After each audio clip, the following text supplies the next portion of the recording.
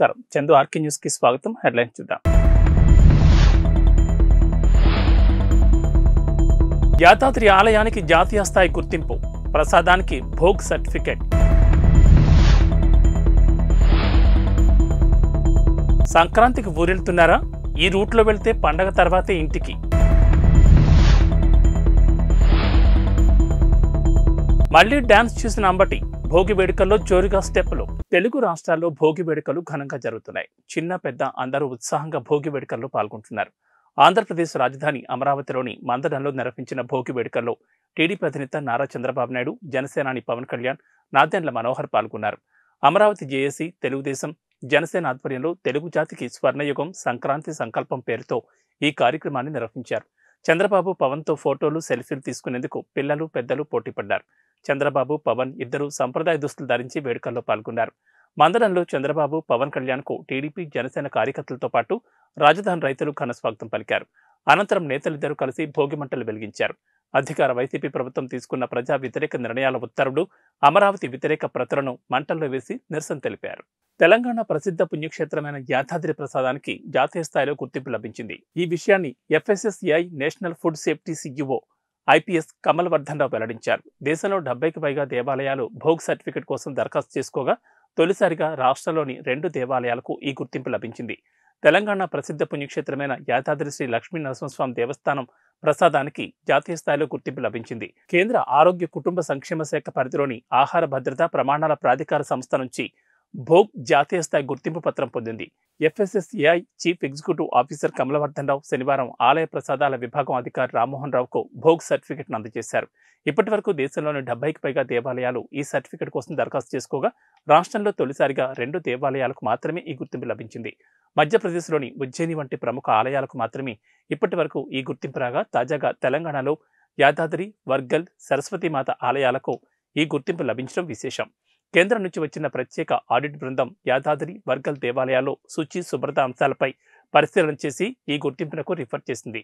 Book certificate సాధనకు Telangana food safety విభాగం కృషి చేసిందని ఆలయ అధికారులు తెలిపారు.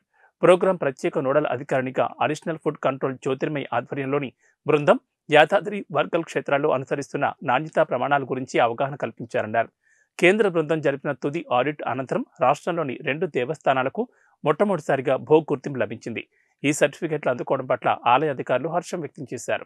తెలుగు రాష్ట్రాల్లో సంక్రాంతి సందడి మొదలైంది. ఉద్యోగ ఉపాధి విద్య కోసం వేర్వేరు ప్రాంతాల్లో నివసించే వారంతా సొంతూళ్ళకు చేరుకోవడంతో గ్రామాలన్నీ కలకల్లాడుతున్నాయి భోగి సందర్భంగా ఆదివారం ఉదయం ఎక్కడ చూసినా సాంప్రదాయ కార్యక్రమాలు కనిపించాయి. ఎక్కడ చూసినా భోగి మంటల కోలాహలం కనిపించింది. చిన్న పెద్ద అనే తేడా లేకుండా సరదాగా కార్యక్రమాల్లో పాల్గొన్నారు. సత్తెనపల్లి పట్టణంలో వైఎస్ఆర్సీపీ కీలక నేత మాజీ మంత్రి అంబటి రాంబాబు గత ఏడాది మాదిరిగానే ఉత్సాహంగా కనిపించారు. భోగి సందర్భంగా పట్నంలో ఆదివారం నిర్వహించిన భోగి వేడుకలో ఆయన డాన్స్ చేశారు. జోరుగా హుషారుగా స్టెప్పులు వేసి ఆకర్షించారు. డప్పు చప్పులకు లయబద్ధంగా డాన్స్ చేసి అందరినీ ఆకట్టుకున్నారు. ఈ కార్యక్రమానికి పెద్ద సంఖ్యలో హాజరైన వారంతా చప్పట్లతో రాంబాబును ఉత్సాహపరిచారు. గత ఏడాది సంక్రాంతి వేడుకల్లో అంబట్ రాంబాబు సరదాగా చేసిన డాన్స్ చిన్నపాటి చర్చకు దారితీసిన విషయం తెలిసిందే. అంబట్ డాన్స్ను పవన్ కళ్యాణ్ నటించిన బ్రోస్ సినిమాలో పేరడీగా తీసుకోవడం సోషల్ మీడియాలో ట్రోలింగ్ చేయడం హాట్ హాట్ చర్చగా దారితీసింది. అయితే గతాన్ని పక్కన పెట్టి ఈ ఏడాది కూడా జోరుగా డాన్స్ చేయడంపై అంబటి ఆసక్తికర వ్యాఖ్యలు చేశారు. సంక్రాంతికి తాను సంబరాలు రాంబాబులేనని ఆయన అన్నారు. లేనిపోని రాద్ధాంతాలను తాను పట్టించుకోబోనని ఓ మీడియా సంస్థతో మాట్లాడుతూ అన్నారు. సినిమాల్లో కూడా చూపిస్తున్నారు కదా అని ప్రశ్నించగా సినిమాల్లో కూడా చూపిస్తున్నారు కదా అని ప్రశ్నించగా సినిమాల్లో పెట్టుకునే స్థాయిలో నన్ను లేపుతుంటే నేనెందుకు కాదంటాను? నాకేం సమస్య లేదు. ఇంకో రెండు మూడు పాటలకు డ్యాన్స్ చేస్తానని వ్యాఖ్యానించారు. ఇదిలా ఉంచితే ఈ ఏడాది భోగి మంటల వేడుకల సాక్షిగా ప్రభుత్వ వ్యతిరేక నిరసనలను చేపట్టాలని విపక్ష టీడీపీ జనసేన పార్టీలు తమ శ్రేణులకు పిలుపునిచ్చిన విషయం తెలిసిందే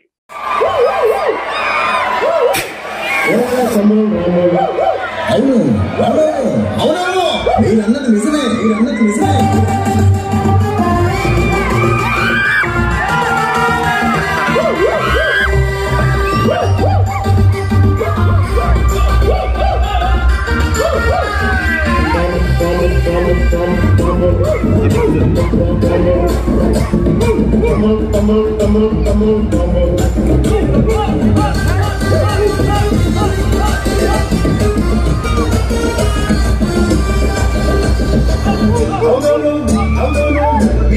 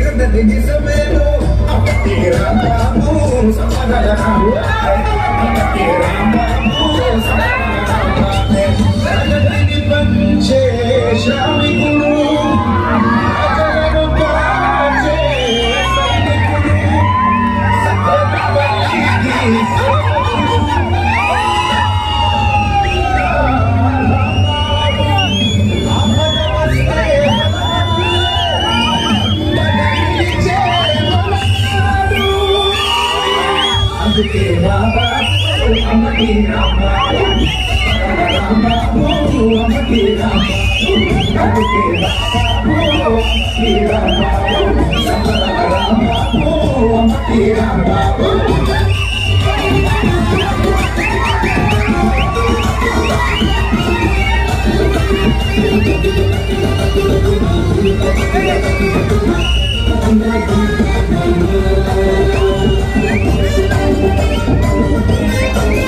రామ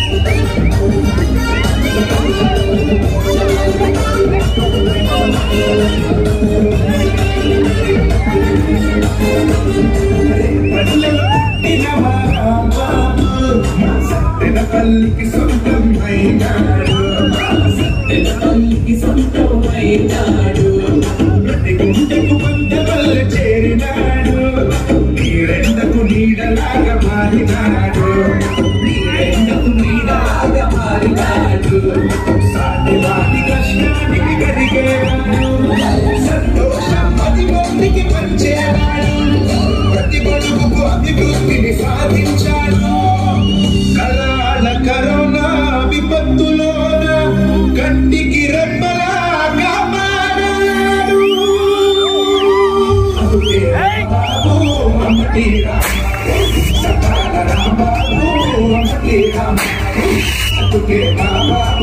అమ్మటి అమ్మటి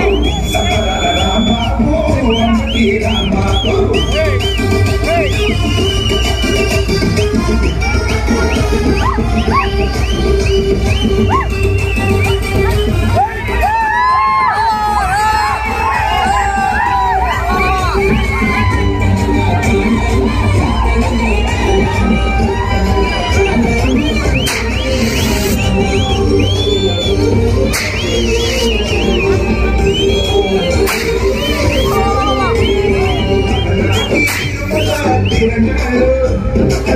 చేస్తుంటే చాలా పట్ల రెండు కళ్ళు.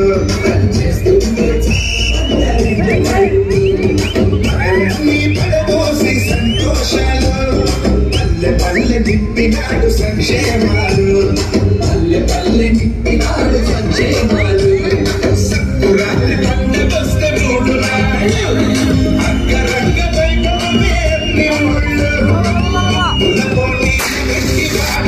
తన కొడుకు రాజారెడ్డి పెళ్ళి సందర్భంగా వైఎస్ షర్మిల తెలుగు రాష్ట్రాలకు చెందిన ప్రముఖులను ఆహ్వానిస్తున్నారు. ఇరు రాష్ట్రాల ముఖ్యమంత్రులను పెళ్ళికి ఆహ్వానించిన షర్మిల మాజీ సీఎం చంద్రబాబు నాయుడుతో పాటు ఇతర కీలక నేతలను కూడా స్వయంగా కలిసి ఆహ్వానించారు. తాజాగా నందమూరి తారకరత్న భార్య అలేఖ్యను కలిసి ఆహ్వాన పత్రిక అందించారు. అలేఖ్యతో షర్మిల ఆమె భర్త అనిల్ కలిసి దిగిన ఫోటో సోషల్ మీడియాలో వైరల్ అవుతోంది. కాంగ్రెస్ నాయకురాలు వైఎస్ షర్మిల తనయుడు వైఎస్ రాజారెడ్డి మరికొద్ది రోజుల్లోని ప్రియా అట్లూరిని పెళ్ళాడనున్న సంగతి అందరికీ తెలిసిందే. తన కుమారుడి వివాహ రిసెప్షన్కు రావాలని రాజకీయ రంగానికి చెందిన ప్రముఖులను షర్మిల ఆహ్వానిస్తున్నారు. తన సోదరుడు ఏపీ సీఎం జగన్ను ముందుగా ఆహ్వానించిన Sharmila Telangana CM Revanth Reddy deputy CM Bhatti Vikramarka మాజీ మంత్రి హరీష్ రావు ఏపీ మాజీ సీఎం చంద్రబాబు నాయుడు సహా అనేక మందిని ఆహ్వానించారు. అయితే వాళ్ళందరికీ షర్మిల ఒక్కరి వెళ్ళి వెడ్డింగ్ ఇన్విటేషన్ ఇచ్చారు. కానీ నందమూరి ఫ్యామిలీకి చెందిన అలేఖ్యారెడ్డికి మాత్రం షర్మిల ఆమె భర్త బ్రదర్ అనిల్ కలిసి ఇన్విటేషన్ అందించారు. అలేఖ్యతో కలిసి వాళ్ళిద్దరూ దిగిన ఫోటో సోషల్ మీడియాలో ప్రత్యక్షమైంది. దీంతో తమ కొడుకు వివాహ రిసెప్షన్కు ఆహ్వానించడానికి షర్మిల దంపతులు తారకరత్న భార్యను కలిశారనే భావన వ్యక్తమవుతోంది. రాజకీయ నేపథ్యం ఉన్న వ్యక్తులను ఆహ్వానించడం కోసం షర్మిల ఒక్కరే వెళ్తున్నారు. కానీ రాజకీయ నేపథ్యం లేని కుటుంబానికి సన్నిహితంగా ఉండేవారని ఆహ్వానించడానికి షర్మిలతో పాటు అనిల్ కూడా వెళ్తున్నారని దీన్ని బట్టి అర్థమవుతోంది. ఇటీవల షర్మిల కాంగ్రెస్ పార్టీలో చేరిన సందర్భంగా మల్లికార్జున్ ఖర్గే ఆమె మెడలో కండువా కప్పి పార్టీలోకి ఆహ్వానించారు. ఆమె పక్కనే ఉన్న అనిల్కు కూడా ఖర్గే కండువా కప్పబోగా ఆయన సున్నితంగా తిరస్కరించారు. దీన్ని బట్టి తనపై రాజకీయ ముద్ర లేకుండా ఉండాలని బ్రదర్ అనిల్ అనుకుంటున్నారని తెలుస్తోంది. గత ఏడాది నారా లోకేష్ పాదయాత్ర ప్రారంభ సమయంలో గుండెపోటుకు గురైన తారకరత్న బెంగళూరులో చికిత్స పొందుతూ తుదిశ్వాస విడిచిన సంగతి తెలిసిందే. తారకరత్న వివాహం చేసుకున్న అలేఖ్య వైఎస్ఆర్సీపీ కీలక నేత విజయసాయిరెడ్డి మరదల కుమార్తె. సామాజిక వర్గాలు వేరైనప్పటికీ అప్పటికే అలేఖ్యకు పెళ్ళై విడాకులు తీసుకున్నప్పటికీ రాజకీయంగానూ ప్రత్యర్థి పార్టీలకు చెందిన వారైనప్పటికీ తారకరత్న అలేఖ్య ప్రేమ వివాహానికి అవేవి అడ్డు రాలేదు సైబర్ కేటుగాళ్ళు కొత్త తరహా మోసాలతో రెచ్చిపోతున్నారు. తాజాగా అయోధ్య రామ మందిరం ప్రారంభోత్సవాన్ని తమ నేరాలకు ఉపయోగించుకుంటున్నారు. ఆలయ ప్రారంభానికి సంబంధించిన వీఐపీ టికెట్లు గెలుచుకున్నారంటూ వాట్సాప్కు సందేశాలు పంపుతున్నారు. ఇలాంటి వాటి పట్ల జాగ్రత్తగా ఉండాలని టీఎస్ఆర్టీసీ ఎండీ సజ్జనార్ హెచ్చరించారు. సైబర్ నేరగాళ్ళు రోజుకు అవతారమెత్తి అమాయకులను మోసం చేస్తున్నారు. కొత్త తరహా పద్ధతుల్లో చీటింగ్ చేస్తున్నారు. ట్రెండ్కు తగ్గట్లుగా నడుచుకుంటూ అమాయకులను బుట్టలో వేసుకుని అందని కడికి దోచుకుంటున్నారు. ప్రస్తుతం దేశంలో అయోధ్య రామ మందిరం ప్రారంభోత్సవం ట్రెండింగ్లో ఉంది. ఈ నెల ఇరవై రెండున రామ మందిరం ప్రధాని మోడీ చేతుల మీదుగా ప్రారంభం కానుండగా ఇప్పటికీ అన్ని ఏర్పాట్లు పూర్తయ్యాయి. దీన్ని ఆసరాగా చేసుకుని సైబర్ కేటుగాళ్ళు కొత్త మోసానికి తెరతీశారు. అయోధ్య రామ మందిరానికి వీఐపీ టికెట్ గెలుచుకున్నారంటూ వాట్సాప్కు ఏపీకే ఫైల్ పంపుతున్నారు. దీనిపై ట్విట్టర్ వేదికగా ఆర్టీసీ ఎండీ సజ్జనా స్పందించారు. అయోధ్య రామ మందిర్ ప్రారంభోత్సవం ఈవెంట్కు వీఐపీ టికెట్లు కావాలా? అయితే ఈ లింక్ క్లిక్ చేయండి.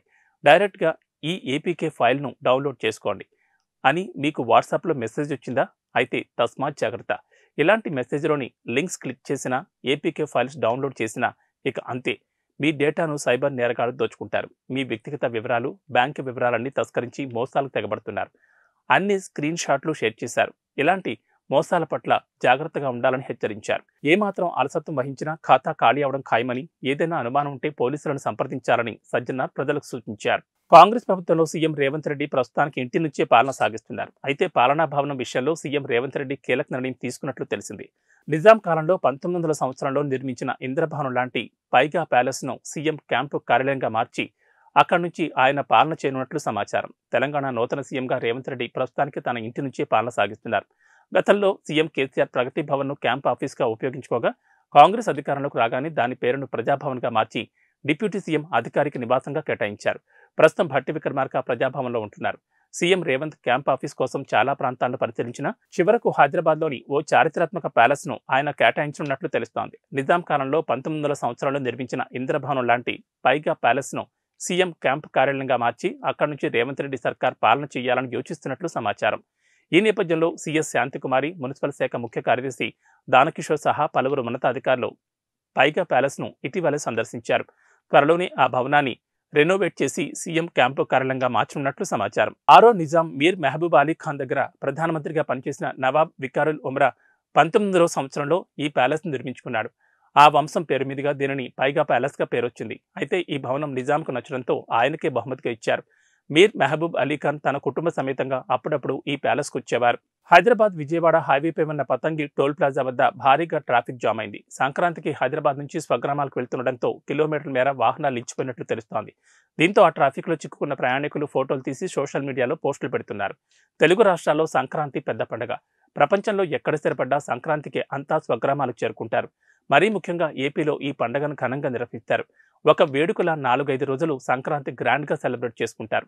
బసవన్నల ఆటలు కోడిపందాలు భోగిమంటలు ఇలా పండగ మామూలుగా ఉండదు. అయితే హైదరాబాద్ నగరంలో ఉంటున్న ఏపీ వాసులు గ్రామాలకు వెళ్ళేందుకు సిద్ధమవడంతో రైల్వే స్టేషన్లు బస్ స్టాండ్లు రెండు రోజులుగా కిక్కిరిసిపోతున్నాయి. రైల్వేల్లో ముందస్తు రిజర్వేషన్లు కూడా దొరకడం లేదు. మహిళలకు బస్సుల్లో ఫ్రీ జర్నీ కావడంతో బస్సుల్లో ప్రయాణించేందుకు ఎక్కువగా ఆసక్తి చూపుతున్నారు. ఇక ప్రైవేట్ బస్సుల్లోనూ రద్దీ విపరీతంగా పెరిగింది. కొందరు సొంత వాహనాల్లో స్వగ్రామాలకు వెళ్దామని అనుకున్నా వారికి కూడా తిప్పలు తప్పడం లేదు. ప్రయాణ ప్రాంగణాలతో పాటు టోల్ ప్లాజాల వద్ద కూడా భారీగా రద్దీ నెలకొంది. సంక్రాంతి పండుగ నేపథ్యంలో హైదరాబాద్ విజయవాడ జాతీయ రహదారి రద్దీగా మారింది. హైదరాబాద్ నుంచి సొంతూళ్ళకు ఏపీకి వెళ్ళే నగరవాసుల వాహనాలు బారులు తీరాయి. ఇప్పటికే సెలవులు ప్రకటించడంతో యాదాద్రి భువనగిరి జిల్లాలోని చౌటుప్పల్ పతంగి టోల్ ప్లాజా వద్ద వాహనాల రద్దీ విపరీతంగా పెరిగింది. వాహనాలు మెల్లిగా ముందుకు కదులుతున్నాయి. ఫాస్ట్గా ఉన్నా కూడా టోల్ ప్లాజా వద్ద వాహనాలు వేగంగా ముందుకు కదలడం లేదు. దానికి తోడు ఉదయం పొగమంచు కూడా కమ్మేయడంతో వాహన రాకపోకలకు అంతరాయం ఏర్పడింది. పండగ నేపథ్యంలో శుక్రవారం రాత్రి వరకు యాభై వేల వాహనాలు వెళ్ళనున్నట్లు జీఎంఆర్ అధికారులు అంచనా వేస్తున్నారు. అయోధ్య రామమందిర ప్రాణప్రతిష్టకు ముహూర్తం సమీపిస్తున్న వేళ సరికొత్త విషయాలు వెలుగులోకి వచ్చాయి సరిగ్గా ముప్పై రెండేళ్ళ క్రితం ఇదే రోజున దేశ ప్రధాని అయోధ్య రామ మందిరానికి చేరుకున్నారు. కన్యాకుమారి నుంచి కాశ్మీర్ వరకు చేపట్టిన ఏకతా యాత్రలో ఆయన ఉన్నట్లు ఫోటోలను సామాజిక మాధ్యమాల్లో పోస్ట్ చేశారు. అలనాటి మధుర జ్ఞాపకాలు నెబరవేసుకున్నారు రామమందిరం గురించిన సందేశాన్ని దేశం మొత్తం వ్యాప్తి చేయడానికి ఆయన ఈ యాత్రలో ఉన్నారు. అయోధ్య రామమందిర ప్రాణప్రతిష్టకు ముహూర్తం సమీపిస్తున్న వేళ సరికొత్త విషయాలు వెలుగులోకి వచ్చాయి సరిగ్గా ముప్పై రెండేళ్ళ క్రితం ఇదే రోజున దేశ ప్రధాని అయోధ్య రామ మందిరానికి చేరుకున్నారు. కన్యాకుమారి నుండి కాశ్మీర్ వరకు చేపట్టిన ఏకతా యాత్రలో ఆయన ఉన్నట్లు ఫోటోలను సామాజిక మాధ్యమాల్లో పోస్ట్ చేశారు. అలనాటి మధుర జ్ఞాపకాలను నెమరవేసుకున్నారు. రామమందిరం గురించిన సందేశాన్ని దేశం మొత్తం వ్యాప్తి చేయడానికి ఆయన ఈ యాత్రలో ఉన్నారు. అప్పట్లో జై శ్రీరామ్ నినాదాల మధ్య నరేంద్ర మోడీ ఒక ప్రతిజ్ఞ చేశారు. అయోధ్యలో రామమందిరం కట్టినప్పుడే తిరిగి వస్తానన్నారు. వాటికి సంబంధించిన ఫోటోలు ఇప్పుడు వైరల్గా మారాయి. కాశ్మీర్ను భారత్లో విలీనం చేయడం ద్వారా బీజేపీ దేశాన్ని ఏకం చేయడానికి తపస్సు చేసినట్లు ఈ సోషల్ మీడియా పోస్టులో పేర్కొన్నారు. నరేంద్ర మోడీ ప్రభుత్వంలో ఎట్టకేలకు శతాబ్దాల కలగా మిగిలిన భగవాన్ శ్రీరాముని ఆలయం ప్రతిష్ఠించబడిందని రాసుకొచ్చారు. అయోధ్యలో ఆ శ్రీరామచంద్రుడికి ఆలయం మాత్రమే కాదు యావత్ అయోధ్య నగరమే పునర్నిర్మాణం జరుపుకుంటోంది. సర్వాంగ సుందరంగా తయారవుతోంది. లక్షల మందికి ఆతిథ్యం ఇచ్చేందుకు సిద్ధమవుతోంది. రైళ్ళు రోడ్లు వాయు మార్గాలు చేరుకోవడానికి అవకాశం ఉన్న అయోధ్యలో ఆ మేరకు రవాణా మౌలిక వస్తువులను కేంద్ర రాష్ట్ర ప్రభుత్వాలు అభివృద్ధి చేస్తున్నాయి. అయోధ్య అనగానే అందరి దృష్టి అక్కడ నిర్మాణం పూర్తి చేసుకుంటున్న రామమందిరం బాలరాముడి విగ్రహ ప్రాణప్రతిష్టపైనే ఉంది. ఆలయ ప్రారంభోత్సవం సందర్భంగా వచ్చే విశిష్ట అతిథులు వారికి ఇవ్వబోయే బహుమతులు ఆలయానికి వస్తున్న కానుకలు ఇతర విశేషాల గురించి అందరూ ఆసక్తిగా తెలుసుకుంటున్నారు. ప్రారంభోత్సవం తర్వాత వీలును బట్టి రామ జన్మభూమికి ట్రిప్ ప్లాన్ చేసుకుంటున్నారు. ఇంతవరకు బాగానే ఉంది. కానీ ఆలయానికి వచ్చే భక్తులకు ఆతిథ్యం ఇచ్చే అయోధ్య నగరం ఎలా ఉంది? మిలియన్ల సంఖ్యలో వచ్చే భక్తులకు ఆ నగరం ఆశ్రయం ఇవ్వగలదా? రోడ్డు విస్తరణ కారణంగా తొలగించిన భవనాల స్థానంలోనూ పునర్నిర్మాణ పనులు జరుగుతున్నాయి. ఇదిలా ఉంటే ఇప్పటికే ఇక్కడున్న హోటళ్ళు వసతిగృహాల నిర్వాహకులు తమ వ్యాపార సామర్థ్యాన్ని పెంచుకుంటున్నారు. ఈ క్రమంలో అదనపు అంతస్తులు లేదా విస్తరణ పనులు జరుగుతున్నాయి. ఈ క్రమంలో రియల్ ఎస్టేట్ రంగానికి రెక్కలొచ్చాయి. అయోధ్య నగరంతో పాటు పరిసర ప్రాంతాల్లో భూముల ధరలు పెరిగాయి. అమ్మకాలు కొనుగోళ్ళు సాగుతున్నాయి. సరికొత్త వెంచర్లు పెరుగుతున్నాయి. ప్రైవేట్ హోటళ్ళు రిసార్ట్లు పెరుగుతున్నాయి. నగరంలో ఆలయానికి సమీపంలో నివాస భవనాలున్న ప్రతి ఒక్కరూ తమ ఇళ్ళను హోటల్గా మార్చేస్తున్నారు. లేదంటే హోమ్ స్టేలు మార్చి తమ ఆదాయ మార్గాలను పెంచుకుంటున్నారు. ఈ క్రమంలో ప్రతి ఇంట్లోనూ నిర్మాణ పనులు జరుగుతున్నాయి. మొత్తంగా అయోధ్య నగరం మొత్తం under construction work in progress అని చెప్పొచ్చు. రామ జన్మభూమి తీర్థక్షేత్ర ట్రస్ట్ అయోధ్యలో ప్రాణ ప్రతిష్టాన కార్యక్రమానికి పలువురు ప్రముఖులను ఆహ్వానిస్తోంది. ప్రాణ ప్రతిష్టాపన రోజున అయోధ్యకు వచ్చే అతిథులకు ప్రత్యేక లడ్డూలను పంపిణీ చేసేందుకు కూడా ఏర్పాట్లు చేశారు. జనవరి ఇరవై రెండున లక్ష మందికి పైగా భక్తులు అయోధ్యకు వస్తారని ఆలయ ట్రస్ట్ అంచనా వేస్తోంది. ఈ ప్రారంభోత్సవానికి ముందు జనవరి పదహారు నుంచి వివిధ కార్యక్రమాలు ప్రారంభం కానున్నాయి. ఈ నెల ఇరవై రెండున అయోధ్య రామ మందిరంలో జరిగే ప్రాణప్రతిష్టాపన కార్యక్రమంలో పాల్గొనేందుకు టీమిండియా మాజీ క్రికెటర్ సచిన్ టెండూల్కర్కు ఆహ్వానం అందింది దేశవ్యాప్తంగా వివిధ రంగాలకు చెందిన సుమారు పదకొండు వేల మంది ప్రముఖులకు ఆలయ ట్రస్ట్ ఆహ్వానాలు పంపించింది. క్రికెట్ ప్రపంచంలో సచిన్ టెండూల్కర్తో సహా పలువురు క్రికెటర్లు ఇప్పటికే రామ మందిరాన్ని ప్రారంభోత్సవానికి ఆహ్వానం అందుకున్నారు. వారిలో నీరజ్ చోప్రా పివి సింధు విరాట్ కోహ్లీ రోహిత్ శర్మ సహా ఇతర ప్రముఖ క్రీడాకారులు ఉన్నారు. జాకీ ష్రాఫ్ రజనీకాంత్ రణబీర్ కపూర్ వంటి సినీ పరిశ్రమ ప్రముఖులకు కూడా ఆహ్వానాలందాయి ఈ సందర్భంగా రామజన్మభూమి తీర్థక్షేత్ర ట్రస్ట్ సభ్యులు మాట్లాడుతూ పదకొండు వేల మందికి పైగా అతిథులు ఆహ్వానితులకు జ్ఞాపికలను అందజేసేందుకు ఏర్పాట్లు చేస్తున్నట్లు తెలిపారు. ఇవి బులెటిన్ విశేషాలు. నమస్కారం.